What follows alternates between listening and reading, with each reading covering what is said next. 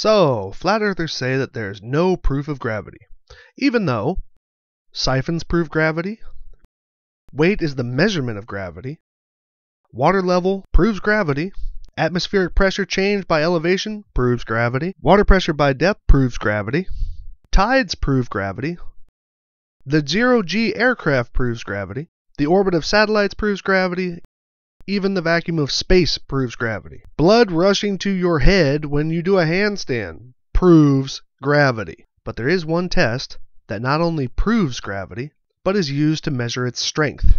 And flat earthers hate it. The Cavendish experiment.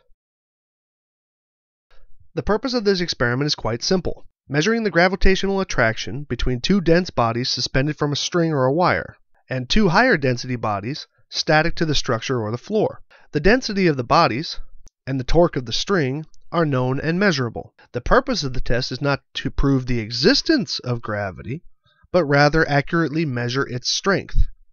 Therefore, the experiment will not function without gravity. Many flat earthers perpetually state that the Cavendish experiment has never been reproduced.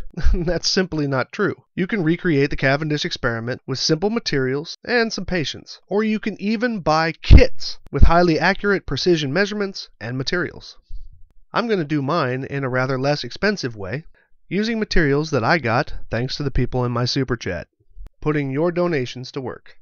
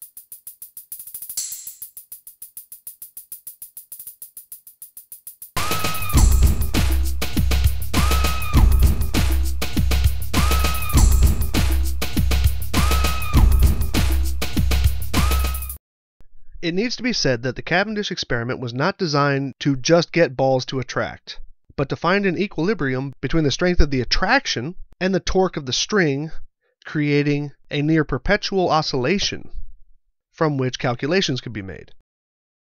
But since this demonstration was about displaying gravity itself, I only did it to have the bodies attract. Y'all have a nice day. Oh my god.